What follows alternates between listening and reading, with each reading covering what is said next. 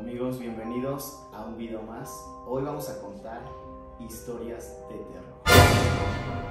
Sí, así como lo escucharon, historias de terror, eso sí, que no te dé miedo.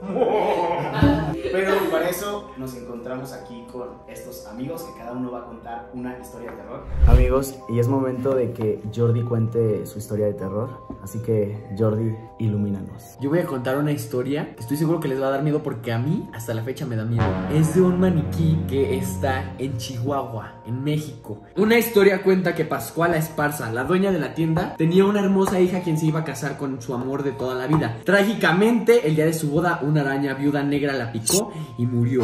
Otra historia cuenta que la joven padecía epilepsia. El día de su boda, su prometido, quien era taxista en la ciudad, fue asesinado y al enterarse de la noticia, ella falleció de un ataque, lo que sumió a su madre en una profunda tristeza. La madre quedó tan afectada por la pérdida de su hija que quiso preservar su cuerpo. Por eso fue momificado y colocado en la vidriera del negocio de modo que siempre pudiera ser la novia que no llegó a ser.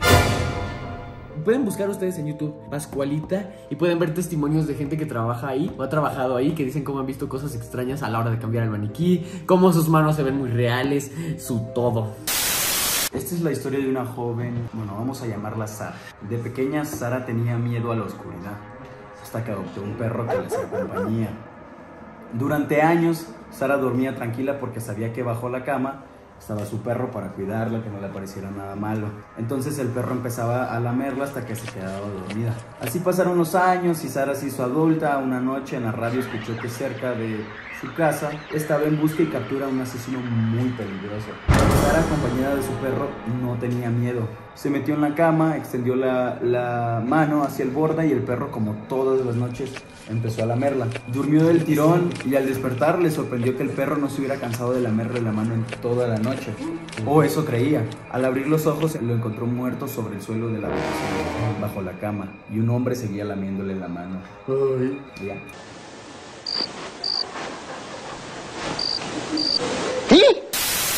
Bueno, vas tú, Susi. Cuéntanos tu historia. Bueno, esto fue una historia que vi en TikTok que fue en la vida real. Ok.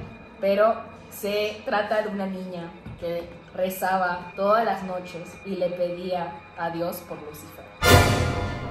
Hace algunos años había una niña que todas las noches, antes de dormir, sus oraciones decían, Dios te pido por favor que cuides a mis padres, a mi familia, a mis amigos y que nunca nos dejes solos. Ah, y también te pido por Lucifer, ya que nadie pide por él. Eso es lo que decía la niña todas las noches. Entonces llegó una de las noches que la mamá siempre iba y la arropaba, pero llegó una de esas noches que la mamá escuchó su oración y ya la mamá le preguntó, hija, ¿qué acabas de decir? Y la, y la hija le dijo, pues mamá, estoy, estoy rezando por Lucifer. Y la madre pues lo tomó con calma, no se preocupó tanto, solamente se despidió de ella, le dio un beso en la frente y se despidió de ella y, la, y se acostó. Luego unos meses la niña se enfermó gravemente, le dio una enfermedad que era incu- incurable y la niña falleció.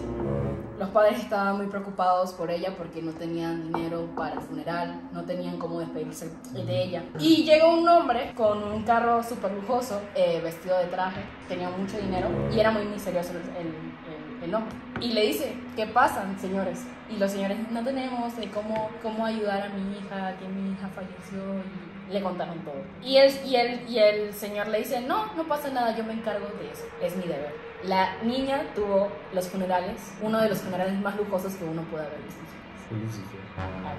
Ay, no. La niña tuvo literal el funeral más lujoso.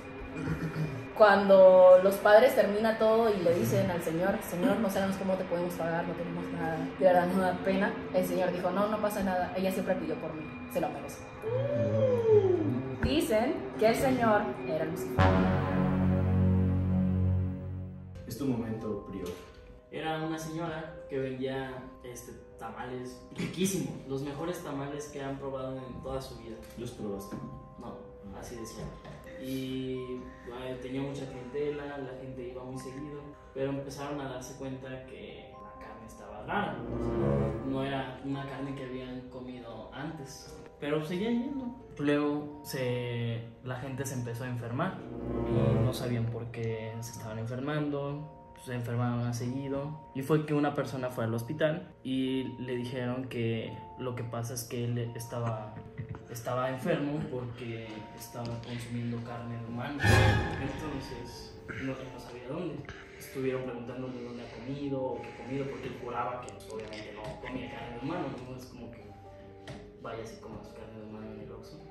Y con el tiempo descubrieron que la carne provenía de los tamales de la señora. Revisaron los tamales y revisaron la casa de la señora y se dieron cuenta que tenía ahí cuerpos como Jeffrey Dahmer también, y que los tamales estaban hechos de carne de humano. Se supone que en una escuela empezaron a escuchar cómo daban pasos así, pa, pa, pa, pa, pa, entre los pasillos. pa, pa, pa, pa, pa. Cada vez más fuertes, depende qué año estaban, eran más fuertes. En las épocas de, de invierno se escuchaban gente como con frío en los baños.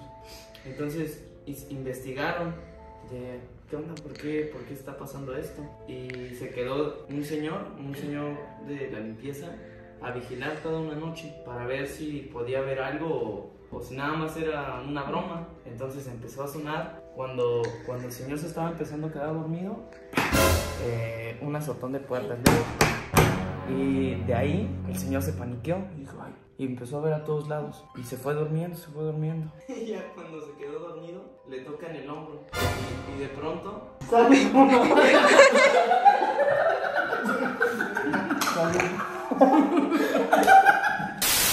Bueno amigos, la historia que yo voy a contar es un hecho 100% verídico que pasó en mi escuela. Bueno, eso fue cuando yo iba en la secundaria. Yo, hagan de cuenta que iba en el turno vespertino, o sea, en la tarde acá en México, está el matutino y el vespertino. Entonces, como yo iba en el vespertino, pues salía de la escuela como a las 7.40. Y hubo el cambio de horario y a las 7.40 ya estaba sumamente oscuro. Se decía que en la escuela donde yo iba, pues, había- o sea, como que espantaban a partir de las 7 porque una niña se había muerto ahí. Porque, o sea, había barandales antes, pero estaban como muy flojos. Entonces, esos barandales eh, estaban jugando y una niña se cayó y se fue para atrás. Se murió. Y muchas niñas decían que la veían no en el baño, sino como en el pasillo. O sea, estaba como medio turbio el asunto. Entonces, este, una vez se quedaron, porque una maestra las regañaba y se quedaron como hasta las 8.20 en la escuela. Y en esa ocasión que se quedaron a, a las 8.20, la luz se fue. Esa niña que se quedó, de la, bueno, porque se quedaron como cuatro, de las cuatro que se quedaron solamente una se quedó como ocho y media y ella fue la que cuando llegó a su casa le empezaron a pasar cosas y empezaba a ver como otras personas. De hecho, la tuvieron que llevar como al psiquiatra porque decían que ella tenía esquizofrenia porque pues escuchaba voces y se sentía que la... No, sí, escuchaba voces, o sea, sentía como que la, que la correteaba. Y entonces, para no hacer el cuento más largo, pues la niña una vez que estábamos en la escuela, eh, en el salón empezó a gritar que veía algo y pues nadie le hacía caso. Y ella entró al baño de, de mujeres abajo y cuando todos fueron, o sea, la maestra se dio cuenta que se había tardado, se suicidó. ¿Tú, tú viste eso? Ay, no, pero ¿cómo se suicidó? No, pero o sea, tú viviste, digo, o sea. No, o sea, yo estaba como anterior. Entonces, de ahí, eh, como que ya nadie de las niñas quería entrar a ese baño porque se había. Les voy a contar una historia que le pasó a mi tía y a mi tío. Miren, ellos iban de camino a Cuernavaca. Entonces, ese día de que había tormenta y todo eso, eh, y pues por las cumbres de que se ponchó y ya no, este, ¿cómo se llama? Pues ya no pudo avanzar el carro. Entonces, ellos de que buscaron un lugar porque pues había mucha, una entonces, este, pues buscaron y llegaron a una casa que se supone que era de que como un tipo pues, hotel y así. Entonces, eh, llegando ahí, pues le pues, tocaron y le dijeron a la señora de que, oigan, podemos pasar y que no sé qué. Y pues la señora les dijo que no y a fuerza les decía que no y les decía que no y les decía que no. Y entonces este, de ellos le dijeron así como de que, pero pues es que, ¿por qué? Es que no nos podemos quedar, dice señora, que se nos ponchó el carro, que no sé qué, y pues ya la señora así como de que, bueno, está bien, pero nada más se van a quedar una noche porque aquí no los quiero. Eh, la señora fue y les dijo, nada más una cosa les voy a pedir, si les hablan o algo, no abran. Y si les piden agua no se la den. Ajá. Nosotros la casa que rentamos nos dijo lo mismo el señor. ¿Cuál casa? ¿La cuerna? La de Cuerna. Bueno, cuando yo la recibí nos dijo, si tocan, no abran, porque, o sea, no abran ni los vigilantes tocan. Ah, sí, tú nos platicaste, ¿verdad? Porque Ah. cuando nos hicieron la broma, dije, Ajá, que, que según tocaron. Y yo les dije, no, no necesito vigilante. O sea, el de la casa que si toca, no abran.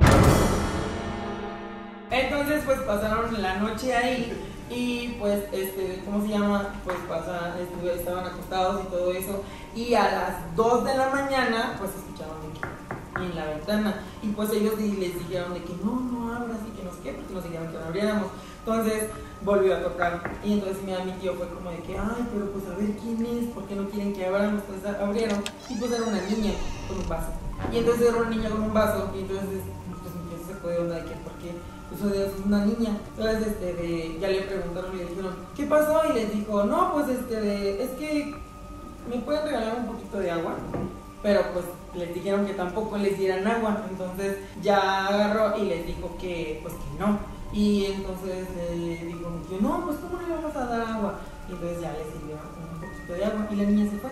Entonces a la mañana siguiente le dijeron a la señora de que había pasado eso y que no sé qué. Entonces la señora se puso a llorar, se puso ahí histérica y les dijo que no dijeran nada, que por eso no los querían dejar ahí, que no sé qué. Entonces les, les dijo la señora por qué. Le dijo porque hace mucho tiempo aquí era un hotel, o sea, sí era un hotel, pero hubo una fiesta. Entonces la niña de la fiesta quería agua, o sea, quería un vaso de agua. Y pues como estaban en la fiesta nadie la pelaba. Entonces la niña se fue a un pozo y en el pozo se cayó. Entonces la niña a cada, en cada tiempo, o sea, cada que llegaban unos huéspedes, eh, los huéspedes le pedían de que, o sea, la niña se le aparecía a los huéspedes en la madrugada y le pedía agua. Y al, pues como dicen que como a los tres meses se enfermaban y se morían. Entonces, lo único que, lo único que ellos les, pues, les, les dijeron es de que, les digo, no, pues es que tiene que haber algo para hacer a la niña y que no sé qué. Y les digo, sí, tienen que hacer que la niña les diga su nombre. Si no, pues no, o sea, les puede pasar eso. Entonces ya en la noche volvieron a a las 2 de la mañana, igual otra vez. Y entonces este de ya de que pues la era la misma niña, o sea, la misma niña, sí, pero era una niña, o sea, no daba así. Entonces la misma niña y ya les abrió la puerta, pero ya le abrieron la puerta de con miedo. Y ya entonces era así, y la niña con su vasito de agua, así solo. Y ya este de le pidió agua y sí les dieron, les dieron agua y ya nada más este de, pues mi tío les dijo, oye, y la niña le dijo, sí, le dijo, nada más te puedo hacer una pregunta. Y le dijo, sí, este de tú eres la niña eh, que murió hace tantos años en un pozo. Y la niña,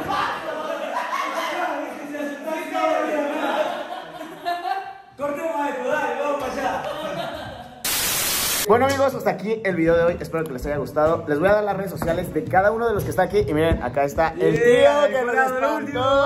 Así nos son infarto.